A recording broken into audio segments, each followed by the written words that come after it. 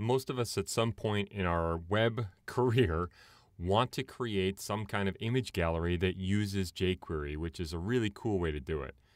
So I've got a page open here and I want to show you how to use Dreamweaver CS5 or CS55 and the widget browser to easily stick one in to one of your pages. It's so simple. So I've got a page open as an example.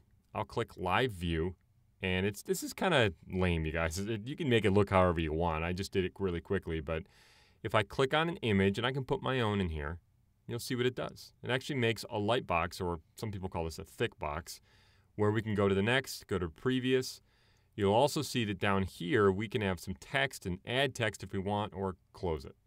So it's really pretty easy. Now, you're not going to put video in this thing and stuff like that. There are others others you can use, but like I said, this is just stupid simple to put in your page. So here's what I'm going to do. I'm going to close this up. I've got a site that I created. It's really simple. There's nothing in it. And I'll start from scratch. So I'll go to File, New. You can put this in any, any page you want, by the way. I'll click Create for, I'll just make an HTML5 page, whatever. And I'll save it out there, save my CSS. I'll save my page in my folder, and I'll just call this Test or something. And I'll go in and type in Gallery and hit a return and have a place for it. Now, here's what we do. To insert it, find this little icon right here, and you'll see what's called Widget Browser. Now, you can find this under the menus too, but in Mac, it might be over here. Go to the Widget Browser. It should open the Widget Browser, okay? Now, like I said, you want to do this in Dreamweaver CS5, Dreamweaver CS5.5. They do say that this works in CS4, but I haven't tested it, so I can't vouch for it. When you go to the widget browser, it's going to ask you to log in using your Adobe ID.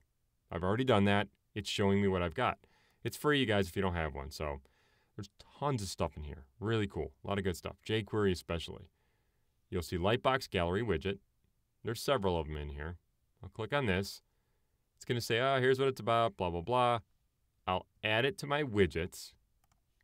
It'll add it. Say, there you go. It'll take me to my widgets, and I've been in here before. I've added a few for myself.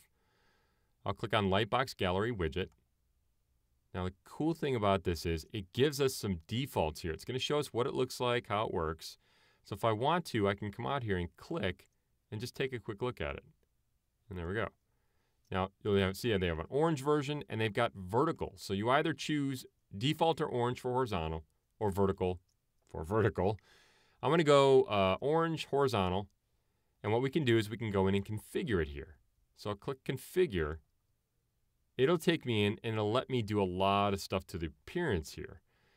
Now, fix nav buttons means put them in a certain location. And if you hover over this, you see it says check, check to fix the navigation next to previous.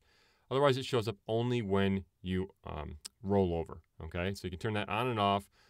Resize duration, you see how long it takes basically to get out there. If I go to gallery, the background is the background here. So I can do things like do whatever I want here. I can change the color of it. I can change the width of this. I can do things like let's make this uh, 100%. So I can say 100%. You notice how if I made it much smaller, like let's say 100 pixels, it made it vertical. I can change padding. So I'll just do a little bit of padding here. And you're going to see it's going to automatically try and update. If it doesn't, you can click refresh and do it. I can align center if I want to, let's say. That's kind of cool. Go to thumbnails. I could change the background here as well as this hover color I do. So background, I could do like a gray, whatever you want to go do, you guys. You can do whatever you want. So hover white. Left border, you can make these smaller. I don't want to go through everything here, but quick and easy. There we go. Not bad. Margins, now this is how far apart they are basically. So I can say, let's put uh, like zero left, zero right and see what we get. They'll get pretty close. You can do whatever you want here. The image container box, that's when we click on one of these and it shows up. You'll see this, well, to me it's ghastly, but this orange back here, you can change that color right here. You can do something like a green, a white, a black, or whatever. Opacity is how see-through or transparent it is. So I can make it a little bit darker if I want. Click on one. I'll see it again. Whoops, there we go. Border width, sorry, that's this right here. We can see this red color. Okay, so that's the border style. You can make a dotted dash, change the color, whatever you want to do. If I click on icons, There are icons for next and previous typically if they show up. So I click next, you'll see next and previous. We can change those if we want to, make our own. And here's the path to them. Leave them alone for now. Internationalization, if I scroll down, you'll see that we have image something of something. We can change this text right here to be like Hawaiian, Hawaiian vacation. I'm to have to click on it again to see it. Let me scroll down. Hawaiian vacation. There we go. All right. Now, this is looking pretty good. So what I'll do is I'll give it a name. It'll save it in here. I'll save it. Now, if you're in Dreamweaver CS5, um, I'm not sure this is going to work. I haven't really tested it. I'm in Dreamweaver CS 5.5 right now, but the latest version of Widget Browser, you guys need to make sure you have it, okay? Um, and how can I do that? Well, if I go out, let me go back to My Widgets. You're going to see Help. If I click on that, check for updates. If I click on that, make sure you've got the latest version installed. Click Close. I'll go back to the Lightbox. The reason why is because we can do this. There's a little hand here. I can just drag this into Dreamweaver. Just click and drag, drop it where I want it, and there we go.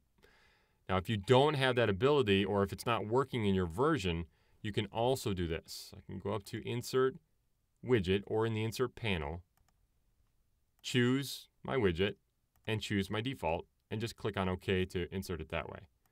Now you'll see it's not going to work right now. Okay, it doesn't look like it is. But once I hit save, and I apologize, I just hit the shortcut Control S or Command S, save it, it'll save all the files necessary. I'll click OK. I'll go take a look at it, click on Live View, and if I hover and take a look, click, there we go. Not too bad. All right, let me close it up. Now, just to give you a little heads up here, I'll click off of Live View, scroll up, if you want to change the pictures here, what you can do is you can click on each one of these, and this is just a list, you guys. All of these are just a list. And if you look down here in properties, you'll see we have source. That's the thumbnail. That's the small picture. And you link to a bigger picture. So if you want to put your own pictures in here, here's what you can do. This is the way I typically do it. I'll go over to the right, find the images folder. You'll see the thumbnail. Let me open one of those up. I'll double click. It'll open in Photoshop for me. If I take a look, you need to make your thumbnail pictures about 72 by 72 in size. Just save them as JPEGs or, you know, whatever you want. The bigger one, let me close this up. The bigger one, if I open one of those, if I take a look at that, is almost any size you want. Just make it within the realm of 400, 300, 300, 400, something like that. So the one's not huge. All right, let me close that up. So I've made my own. And just to show you I'm going to come over here to my files. I will right click and say Explore or Reveal in Finder on Mac. You got to scroll down probably. And what it'll do is it'll actually show you the folder of all those images that they gave us. And you take your images and you stick them in there. Okay. So what I would do, let me uh, minimize this, sorry. What I would do is, sorry, sorry, sorry, it's freaking out a little bit here. I take my two pictures I created. I'll open them up in, let's say, Photoshop. I'll save them as JPEGs typically. Let me just stick these out there. Sorry, real quick. Just file save as, uh, save for Web rather. Save it. Just put it somewhere. Let me close this up. I'll take those two pictures I created and I'll just drag them in here to that image folder. There we go. Now let me go back over to Dreamweaver. I'll refresh in my files you guys will see beach and beach thumb. And here's what I do. I click on one of the pictures in the lightbox. I look down here at source. For the thumbnail, I can click and drag point to file or go to the folder, and I'll just say thumb, beach thumb.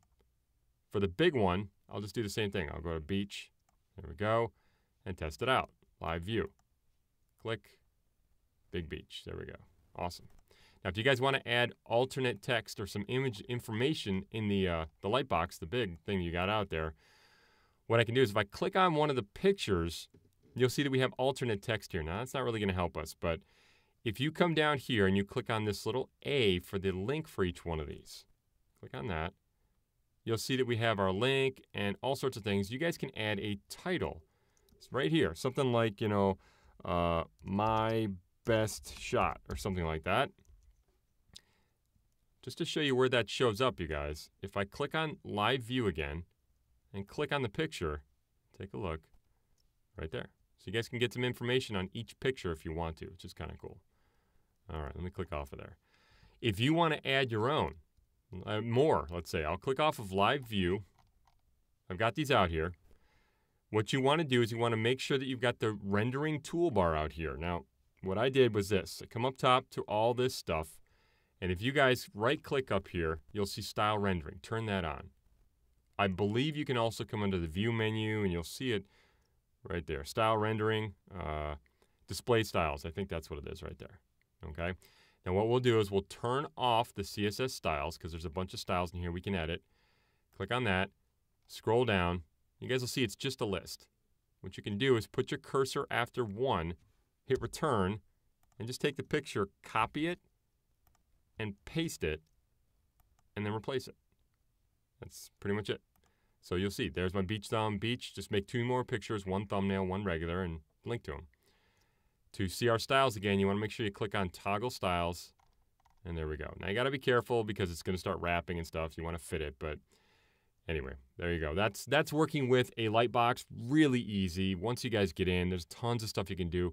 If you want to take it a little bit further, if you go into the code and take a look, you'll see that we also have these different properties we can set here, like fixed navigation, container resize, lack, background color, opacity. These are the things we set in Widget Browser.